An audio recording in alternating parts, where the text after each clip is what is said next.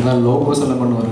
அப்புறம் ஒரு ரெண்டு மூணு ஷார்ட் ஃபிலிம் ஒர்க் பண்ண ஒரு வெப் சீரிஸில் ஒர்க் பண்ண அசிஸ்டன்ட் டாக்டர் நடிக்கணும் சொல்லியிருக்கேன் நான் எல்லாருமே கூப்பிட்டு ஹேடியாக இருந்தது எனக்கே தான் நடக்கும்னு நினைக்கிறேன். உங்களுக்கு ஆஃப் ஸ்க்ரீனில் போகணும்னு ஆசையா? இல்லை சினிமாவில் ஆன் ஸ்க்ரீனில் போகணும் ஆஃப் ஸ்க்ரீனில் போகணும்னு ஆசையா? இல்லை ஆன் ஸ்க்ரீன் பார்க்க ஆன் ஸ்க்ரீன் நம்மளோட மோஸ்ட் நம்மளோட அம்மாக்கு பக்கத்தில் பார்க்கணும்னு நினைக்கிறேன்.